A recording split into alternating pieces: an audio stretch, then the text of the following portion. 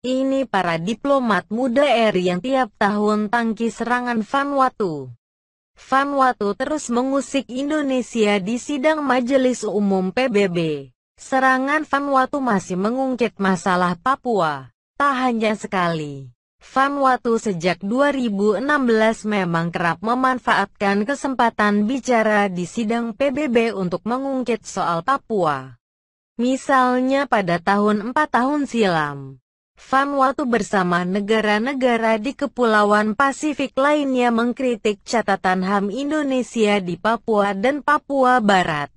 Mereka mendesak dilakukannya penentuan nasib sendiri di wilayah tersebut.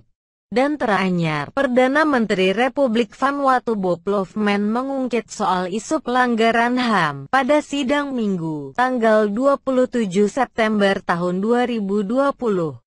Namun sejak empat tahun silam itu pula, para diplomat RI bisa membalas serangan-serangan Vanuatu. Berikut nama-nama diplomat RI itu Narama Sista Rahmatia di sidang PBB tahun 2016 pada tanggal 28 September tahun 2016. Vanuatu bersama negara-negara di Kepulauan Pasifik lainnya mengkritik catatan HAM Indonesia di Papua dan Papua Barat. Seperti dilansir ABC Australia pada tanggal 28 September tahun 2016. Mereka menggunakan kesempatan berpidato di majelis PBB untuk mendesak dilakukannya penentuan nasib sendiri di wilayah tersebut. Komentar itu mendapatkan respons yang kuat dari delegasi Indonesia. Eri menilai kritik itu bermotif politik dan dirancang untuk mengalihkan perhatian dari masalah di negara mereka sendiri. Adalah Narmasista Rahmatia yang membalas serangan Vanuatu. Dia adalah seorang pejabat di misi tetap Indonesia untuk PBB. Laporan bermotif politik mereka dirancang untuk mendukung kelompok-kelompok separatis di Provinsi Papua Barat yang telah secara konsisten terlibat dalam menghasut kekacauan publik dan dalam melakukan serangan teroris bersenjata katanya. Ainan Nuran di sidang PBB tahun 2017 setahun kemudian. Delegasi Indonesia yang membacakan hak jawab dalam sesi debat ialah Ainan Nuran. Isu yang diangkat masih soal Papua. Dari situs resmi perutusan tetap RI untuk PBB.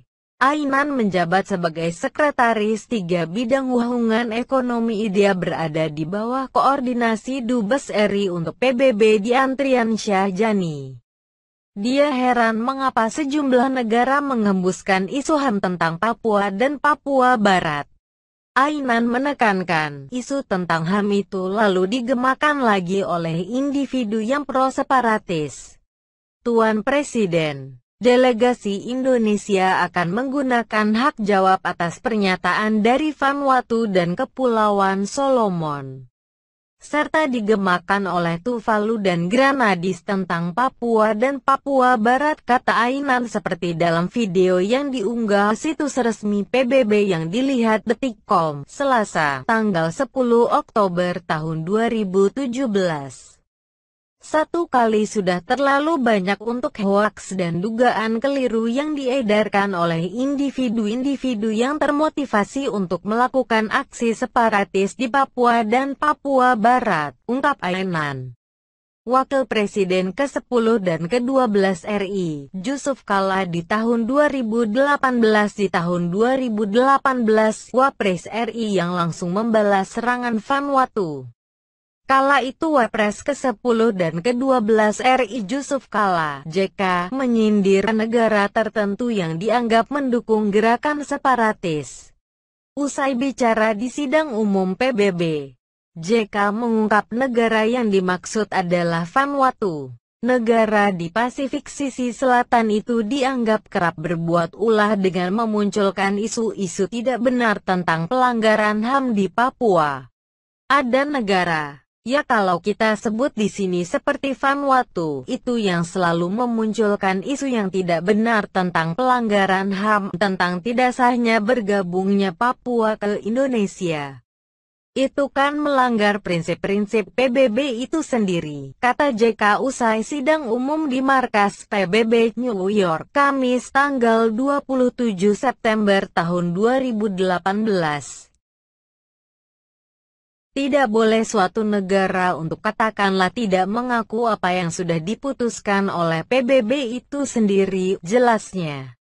JK menjelaskan masuknya Papua menjadi bagian Indonesia merupakan bagian dari resolusi PBB. Oleh karena itu, Vanuatu sebagai anggota PBB harus mengakui resolusi tersebut. Kan masuknya Papua itu kan resolusi PBB, bukan keputusan Indonesia saja. Kita tegas bahwa sekali lagi berbuat itu tentu kita akan juga mempunyai satu cara untuk melawan itu, tutur JK. Ryan Nul Sangaji di sidang PBB tahun 2019 Indonesia menggunakan hak jawab untuk menanggapi pernyataan Perdana Menteri Vanuatu Charlotte Salwaita Bimas Mas. Pada saat itu Vanuatu mengangkat isu Papua. Kami mengecam pelanggaran HAM terhadap masyarakat asli Papua, kata Tabi Mas Mas seperti dikutip dari video di situs PBB. Dia sendiri berpidato pada Jumat tanggal 27 September tahun 2019. Hak jawab right to reply itu disampaikan oleh diplomat bernama Ryan Nul Sangaji. Ryan Nul menegaskan Papua adalah bagian dari Indonesia.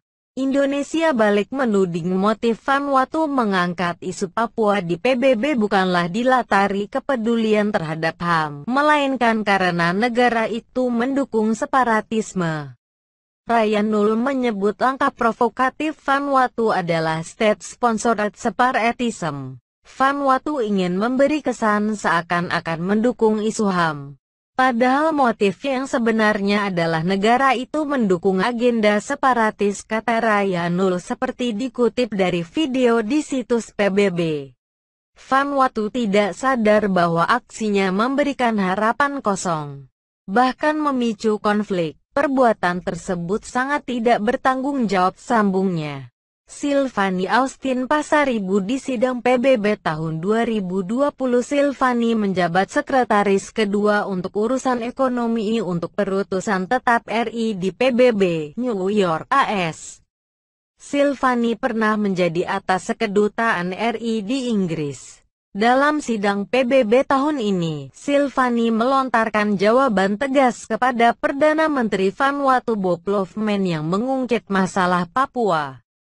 Silvani mengatakan tuduhan Vanuatu itu hal yang memalukan. Vanuatu, menurutnya, terlalu ikut campur urusan Indonesia. Ini memalukan bahwa suatu negara terus memiliki obsesi tidak sehat yang berlebihan tentang bagaimana seharusnya Indonesia bertindak atau memerintah sendiri, ujarnya tegas. Silvani meminta Vanuatu menjalankan terlebih dahulu apa yang tercantum dalam piagam PBB. Sebelum hal itu dilakukan, tolong jangan menceramahi negara lain, ungkap Silvani.